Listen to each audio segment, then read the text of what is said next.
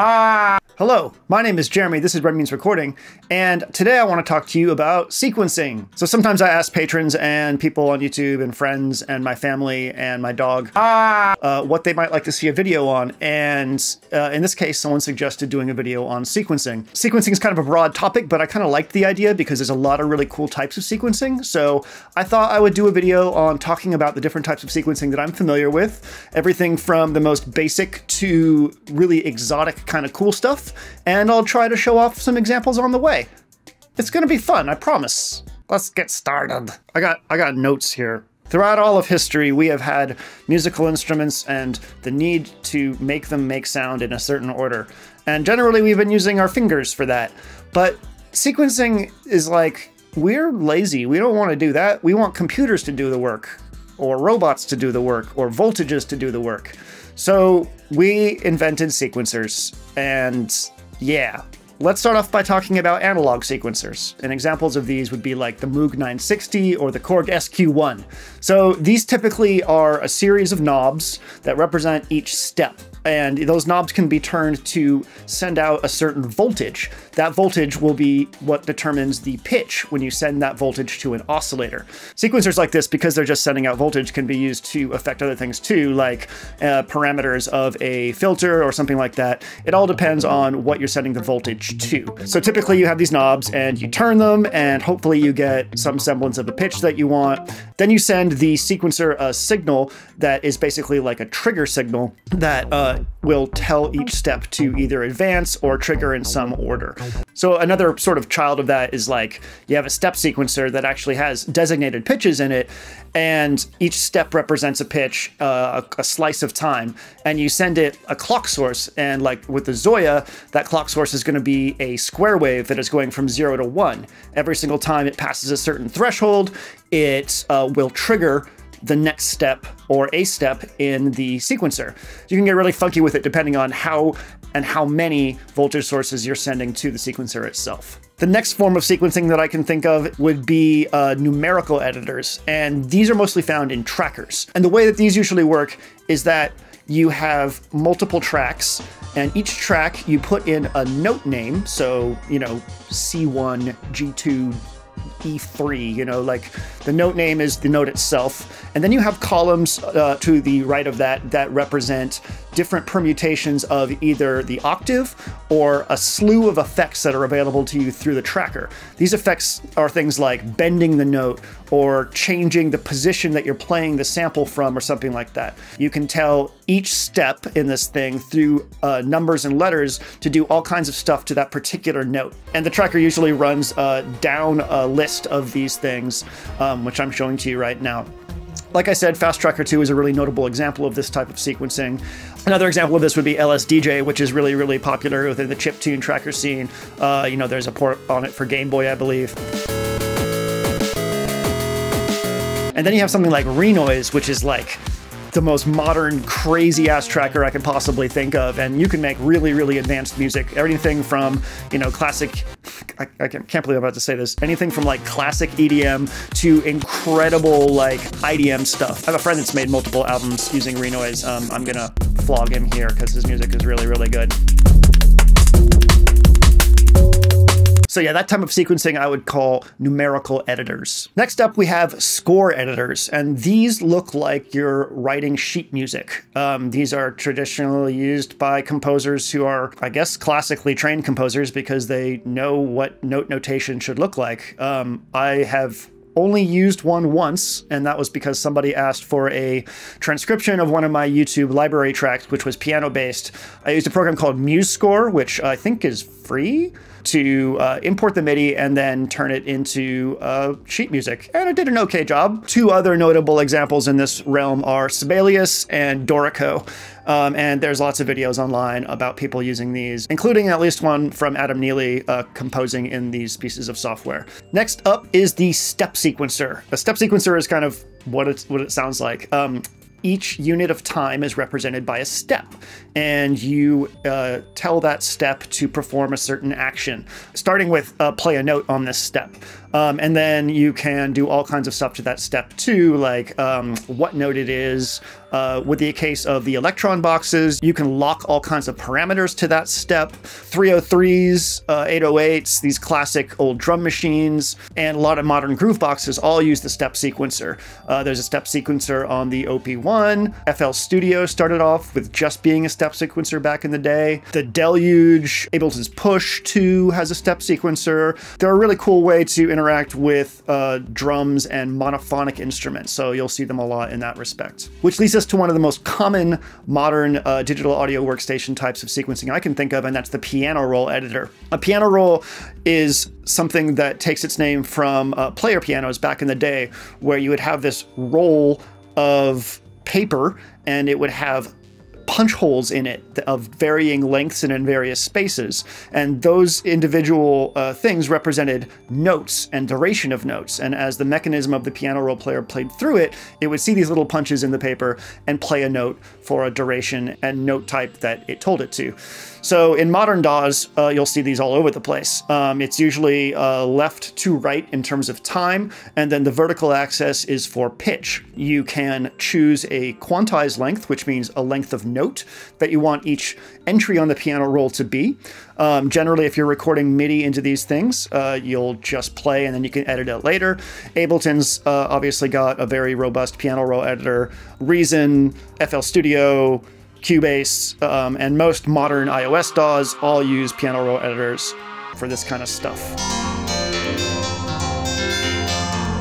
All right, so now we're going to start getting into some of the more exotic types of sequencing. Um, and the first one I want to talk about is Euclidean sequencing. Euclidean rhythms were first sort of keyed upon by Godfried Toussaint in a paper that I can link in the video description. Um, but basically, it's the idea that distributing a certain number of notes over a certain amount of pattern will generate most rhythmic patterns that we experience. So, for instance, like four kicks over a 16 step pattern will generate the classic four on the floor beat that you're used to with house and a lot of EDM. But if you change the number of notes to something that's not four and the number of steps to not 16 and start distributing those in interesting ways, you start getting Euclidean rhythms. And uh, I think his argument was that um, these things can be found in a lot of world music. So I'm a little out of my element describing this, so I'm sorry. Hello everybody, in today's video I'm going to be explaining Euclidean rhythms. The Sonic Potions LXR drum machine had a Euclidean rhythm generator in it, which was really cool. The Eurorack module Grids, uh, at its basis, is Euclidean rhythm generator. And then um, you'll find a lot of the stuff in iOS. So Patterning, which is a really, really cool drum machine, has a basis in Euclidean rhythm generation.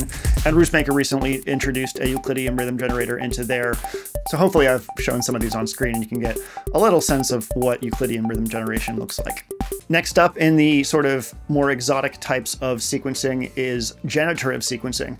Um, generative sequencing is when you feed a sequencer a certain sort of parameter set, and then it starts to generate a constantly evolving set of output based on those rules. Um, so it might change the pitches constantly within a certain constraint.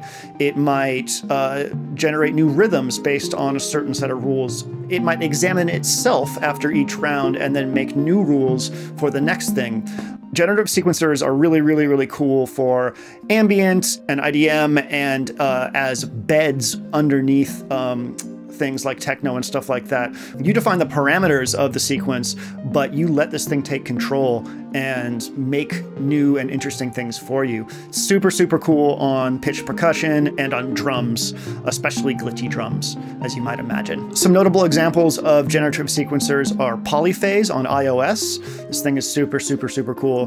There are a ton of other ones. Just Google generative sequencer VST and you'll find a bunch of other ones.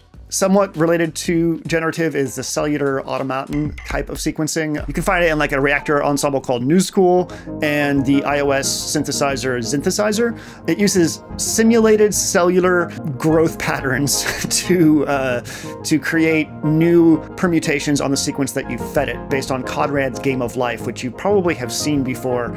Um, I'm showing you on screen now what it looks like, but basically each node represents a chance for a particular permutation of the sequence to either grow or die off. And uh, depending on how you set it up, it can just continually evolve clusters of new permutations on the output, which is super, super, super cool. Next up is Cartesian sequencing, which as you might guess based on the name, is the idea of sort of mapping around a sequence in interesting ways. The Make Noise Rene is the hardware version of this that first comes to mind. It's this beautiful black and gold sequencer thing with touch things in it. When you send it voltage for each um, step of the sequence, it has all these rules that it can follow about how it moves around the sequence. So if you have a grid basically, and you can travel around that grid in really, really interesting ways, and you can evolve how you travel around that grid. Uh, I was lucky enough to find a Max for Live device called Snake. MDD Snake. I'll put a link for it in the description.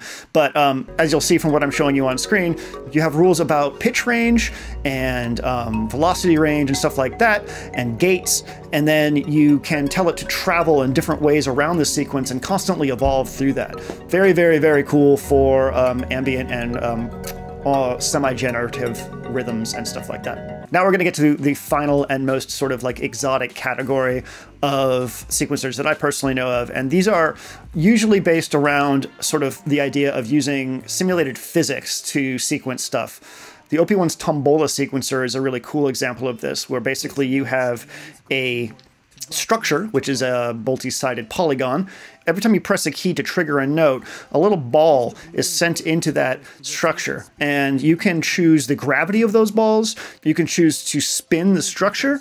So you get this cascading sort of spinning effect on all of the uh, notes that you've pressed that can constantly sort of surprise you. It's it's not based on any time frame. It's not based on any quantization, um, and it's really really cool for ambient stuff. There are some other really, really amazing examples of that, mostly in the iOS and Max for Live and Reaktor sort of realm. So Nodal for iOS uh, is one that I recently got that I've been playing with that is like this. I'll be showing you on screen right now and hopefully you can get a sense of what's going on.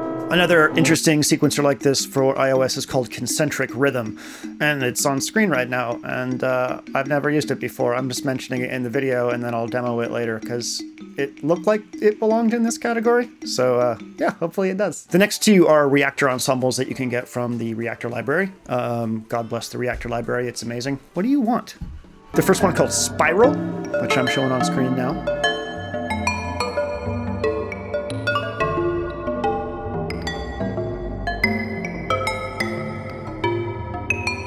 I'm petting my dog with my hand. That's why I'm doing this right now. The next one's called Node.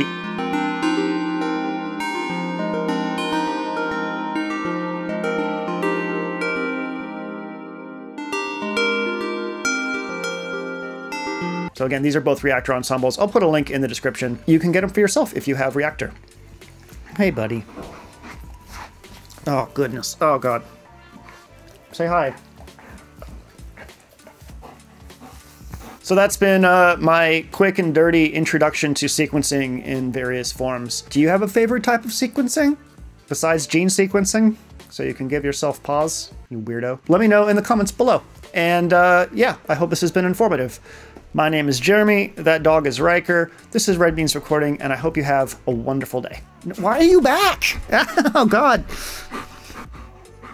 What do you want? Ah, ah. Ah! Oh yeah, real quick, I just want to mention, I'm not really sure when this video is coming out, so I've either already released it or it's not released yet, but it will be soon. Um, I have a new album called Object Permanence. I'm very excited about it. Uh, it's releasing December 6th everywhere, all the places that you might want it. Check the link in the video description for either a pre-save link on Spotify or links to where it is everywhere. Um, I hope you like it. Bye. Ah!